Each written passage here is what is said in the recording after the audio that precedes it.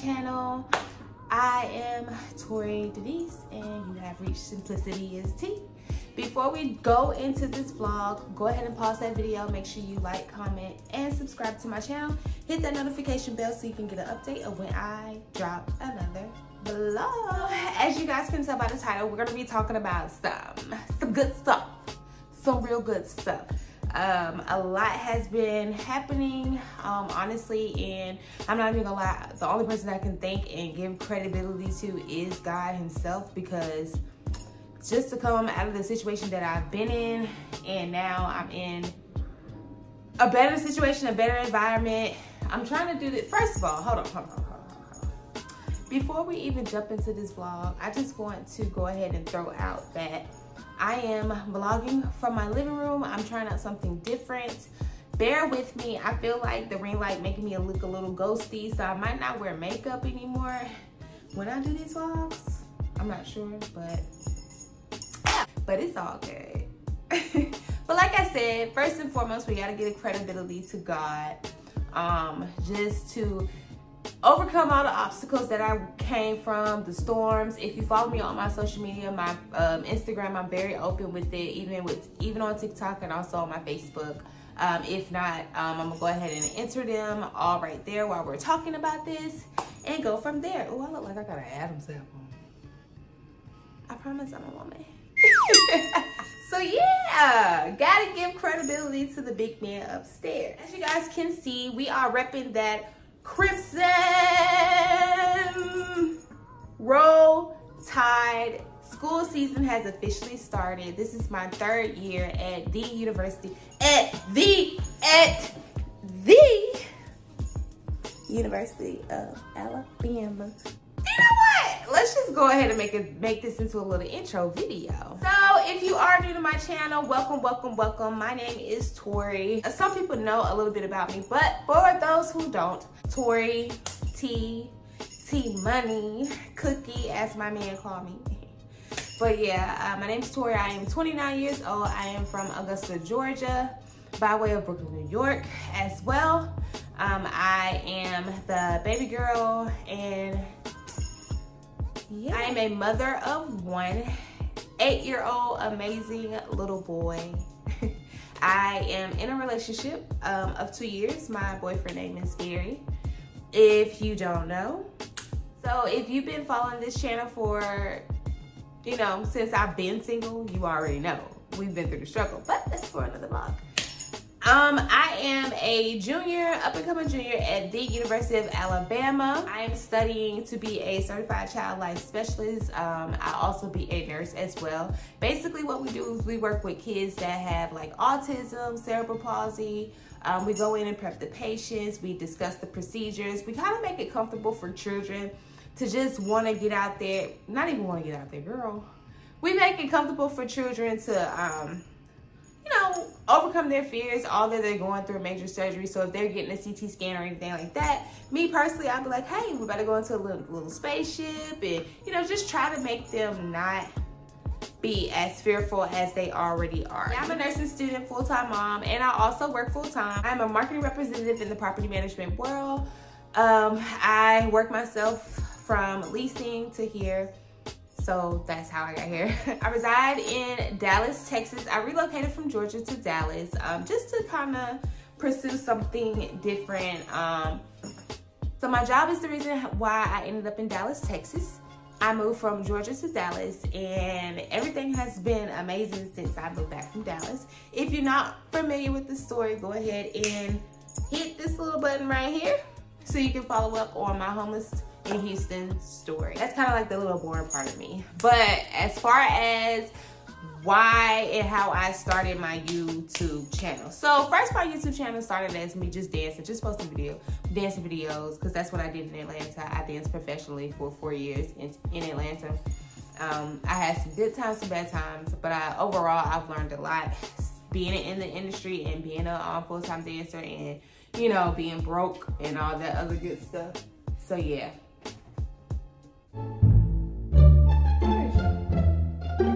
Boy, look, don't scare me like that. I know I heard something.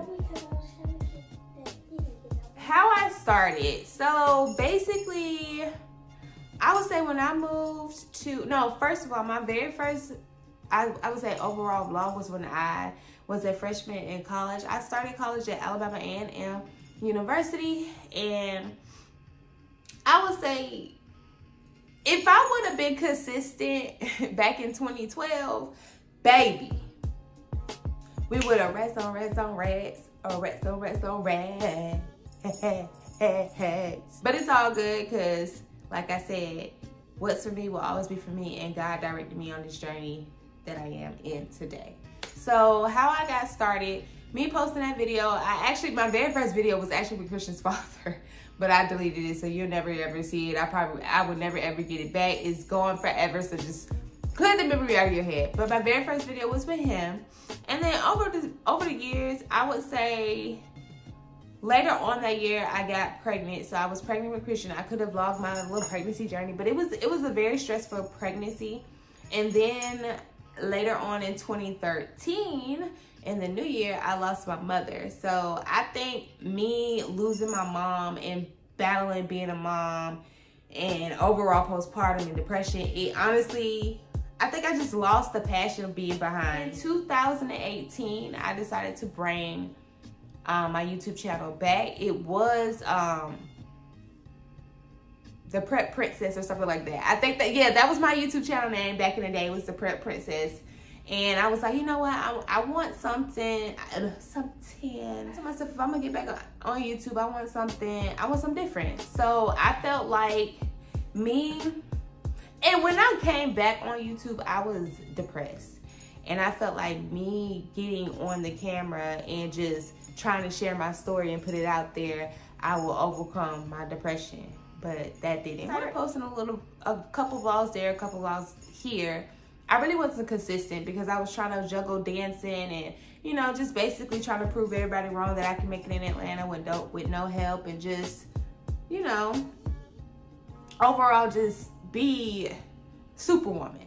Fast forward to 2020. 2020, my dad passed away in May of 2020, and I moved to Dallas for the first time. So when I moved to Dallas for the first time, I felt like, hey, okay, this is my chance to start my vlog channels back up. So I started it back up when I was in Atlanta, and I ended up, you know, trying to block my experience when I was in Dallas. That's when I did the big chop. So if you guys don't remember the big chop, baby, I went from this to this.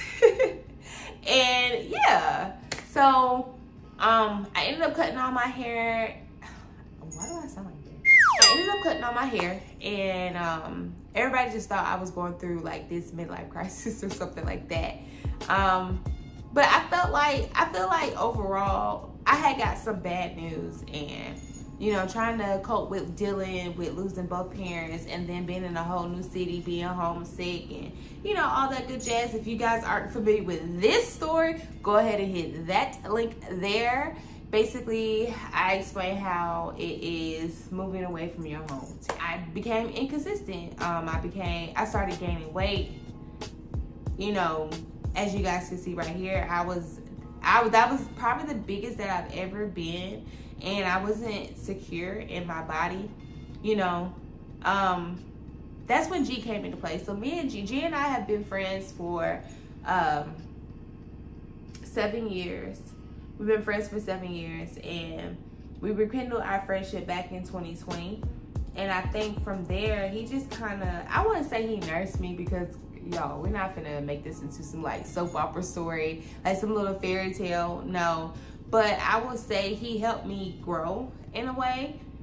Um, he helped me realize and see the person that I am. He helped me see the woman that I've become and the woman that I am becoming. Honestly, G pushed me closer to God. And for a while, I was angry with God, you know, because I felt like everybody was winning but me. Like, okay, boom, I'm doing, there was, it, matter of fact, a story in particular there was a friend of mine and we had a mutual friend girl in the group.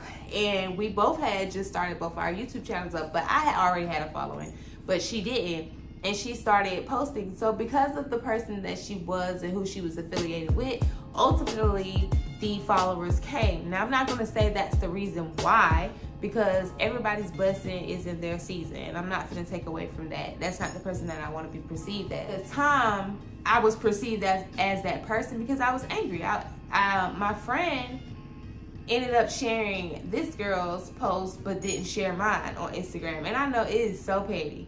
But at the time, y'all gotta understand, I was 25 years old. I was upset and I felt some type of way. Shoot! Ultimately, that was God saying that it wasn't my season.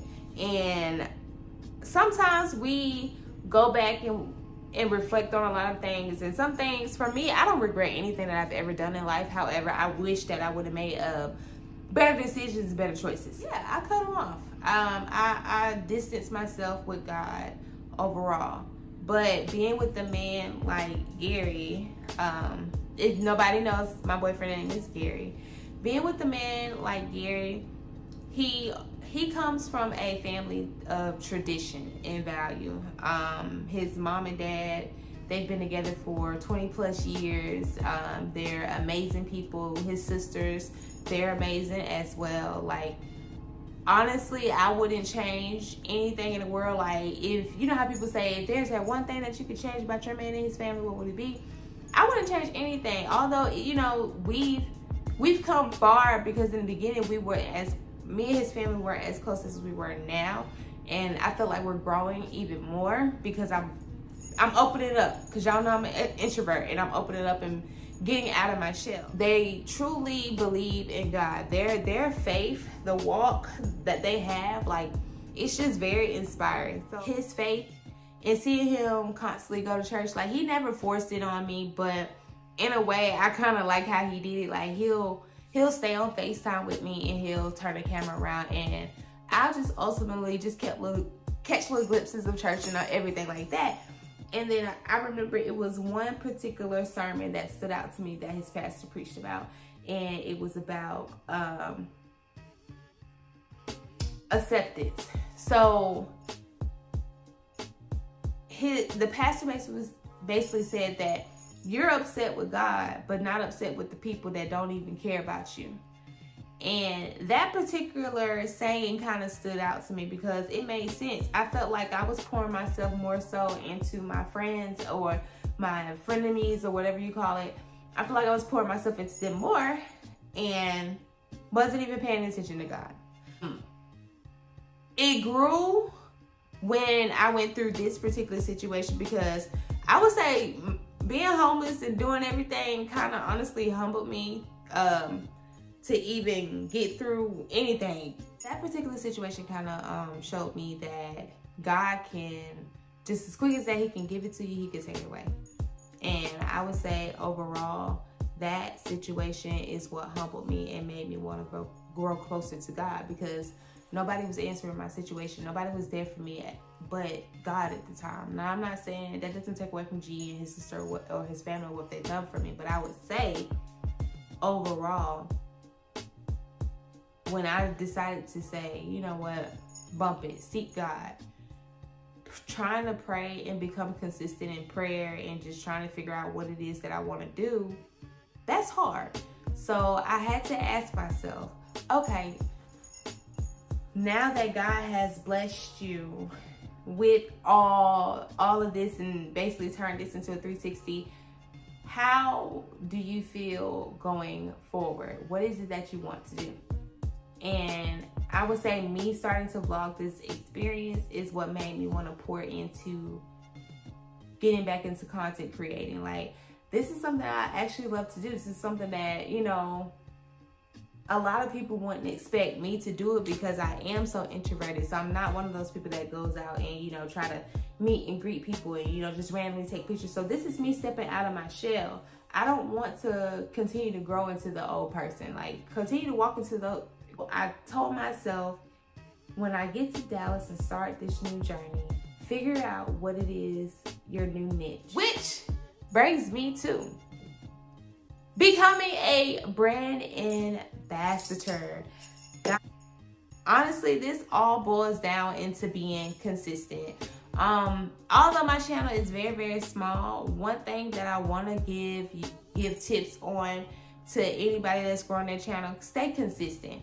Um, Whether you have 700 followers, whether you have 200, a thousand, whatever. Consistency is key. Me becoming a brand ambassador is something that is just, that's wow. So backstory, um, they contact the particular com company contacted me and they were like, hey, I, we want to, you know, blah, blah, blah, you know, y'all know the goodness. For me to bully, I honestly ultimately believe people be full of crap.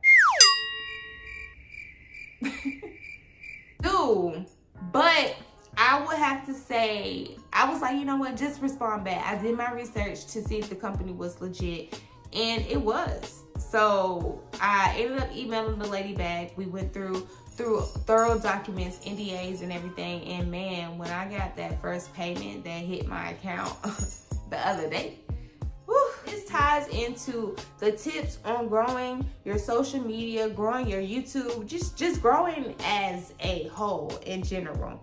Um, first, the first thing I'm gonna say, and I know some people might roll their eyes, but honestly, it's it's God. It's God. A lot of people say, "Oh, I'm gonna manifest this," but don't put God into that manifest manifestation. So I was one of those people. I felt like if I just said, "Oh, I manifested," boom, that was it. It was gonna automatically come to me. But no, you have to be consistent in your manifestation. You have to have faith and you have to put God first. Like if you guys don't put God first before anything, if you don't pray on it, sleep on it, and then manifest it, man, please. Basically talking about being an influencer. I kind of when I when I came back to YouTube, I wanted to ask myself, okay, what's your niche? What why do you want to be an influencer? Is an influencer the the name that you you're wanting? And to be honest, not necessarily because I don't want people to, you know, I don't want that. To, I think for me, I'm, I don't like having certain pressure on me, and I and I've battled with and felt like if I called myself an influencer, you know, what if I didn't deliver the content that you guys wanted? So I got wrapped up in it. I got wrapped up in it, and I started contemplating myself a couple weeks ago. Um, you're going to go through those moments where you feel like, is this really for me? Is this something that I really want to do? You know, the followers aren't growing, the subscribers aren't growing. A lot of people don't watch my stuff. I'm to be completely honest. When I became consistent and just said, you know what, bump the views, bump the likes, just post content that you fit, just be your genuine self so when I told myself to just be myself, it, it just kind of started working. Like, granted, no, I'm not at a hundred something views or nothing like that per every every video that I post, but I will say, me being consistent and genuinely being me, somebody gonna rock with it, baby. Period. Period, point blank. When it comes to influencing, figure out what it is that you guys are wanting to do. You can't just say, oh, I'm an influencer and I'm about to post some thrift shopping and then that's it. No. Like, people gotta rock with you seeing you every day like me i'm not a i'm not a social media person so posting every day is different for me yes you have to post every day if you don't post every day baby they gonna you gonna get lost in the sauce lost in the deep blue sea with spongebob and patrick and them and you're not gonna be found every day i wouldn't even say every day maybe every other day but you have to figure out where to post figure out you know in a way read your analytics but at the same time don't get wrapped up in your analytics. If you really are serious about this YouTube shit, bro, like you you really have to tune people out. Tune out the views, tune out the subscribers. Honestly, I would rather have people watching my stuff than to have a thousand something subscribers and they're not watching my stuff. Then I really get lost in the song. I feel like as of yesterday, I found my niche. Fashion. I love I love fashion. I love shoes. But at the same time, it was like, okay, if you're gonna do fashion, how you gonna deliver? Because everybody, everybody doing fashion, bro. But I feel like when me incorporating just me, period, and being genuinely myself, it, it, it's gonna come. Y'all gonna rock with it. Not everybody don't dress the same, and I don't.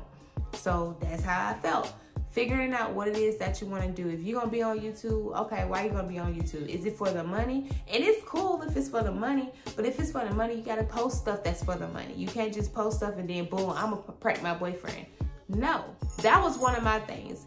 Me introducing Christian and G onto my channel, I didn't want you guys to just get mixed up into the family thing. Granted, I don't mind sharing my family because it is family lifestyle and fashion. But it's like, how do I create an environment where y'all rocking with all of it completely? It's not just a, oh, well, I, I like when she posts a little fashion videos. Oh, I like when she posts a little date night. Like, overall, I want y'all to, I wouldn't say I want y'all to like me, but I just want y'all to grow into a family. Like, I don't have family like that, and just to have people out there in the world, in the world that fools with me and loves what I post and loves what I bring, that says a lot. Um, I'm trying to grow as a person. I'm trying to grow as an influencer. So I just ask and say, bear with me and thank you. As easy as it is said, I'm gonna be completely honest. YouTube is probably one of the hardest platforms to grow any type of following on. So being consistent and posting every day and figuring out what who your audience is, figuring out what it is that you want to do, why it is that you're on YouTube. Because me being personal, if I it's it's the energy for me. I I have those YouTube channels where the couples are uh, pranking each other, and then I have those YouTube channels where it's like a breath of fresh air. She's actually talking about her her hauls and you know what finds that she's you know fashion and all that. So it's like it's different for me, but for me to subscribe to somebody's channel, I really gotta feel like okay, this is genuinely that person's thing versus oh they just post. Let's go come to my next one. Stop listening to everybody. Everybody don't have good intentions. Some people might laugh at you when they see you out in the public with the camera. That was one thing that I had to get over with being camera shy. Like, oh, just being camera shy and me being me as a whole, jumping out of my bubble, cracking that wall was completely different. Jumping out of my shell and doing things that I've never really done in the uh, in the past you know, it's it's crazy. It's like an out of body experience. You know, I don't know about y'all, but I have social anxiety. So me going out in the streets and just putting on this tripod and taking pictures, things such as that nature is different. However, I will say it's a breath of fresh air. If YouTube is something that you're really wanting to do, do it. On top of that, you gotta know when to avoid those spots. Like, don't get frustrated. You know, even when you have those companies that come to you, they might be legit, but they're wanting you to pay them for shipping and handling. Do it respectfully. Be like, oh, unfortunately, I decline, things like that. Like when you start get put your little toe in this influencer thing, you really have to figure out how do you want to be perceived as a person. So I would say those will probably be my top five. I think that was five. Um, keeping God first, being consistent, posting, um, finding, no, finding your niche, finding your audience, and ignoring the naysayers. Those are my top five. Honestly, we'll probably, I just want to make this quick. now that I'm being seen in a different light and being seen in that aspect, I would say it's different. Um, it's cool like it's like okay, they they really rock with me. Okay, I got a little family. Oh, okay, I got I got sis in the corner back there. Oh, it's like okay. but no, all jokes aside, um, I would say I honestly like the feeling of being on YouTube. I like where my channel is growing. I like where I'm going as a person. And I'm still getting nervous about being on camera because I'm that's whoo, it's still different for me. So I ask that you guys just bear with me. Um, but overall, I like it. And I can't I can't wait to just do more and post more videos and content invested. With me being in school and trying to juggle Christian and trying to juggle YouTube and everything, you know, I pretty much just told myself that we gonna get it, we gonna get it in. With school starting back, I'm gonna say this is probably gonna be very, very hard. And for those that are in school, here's another tip.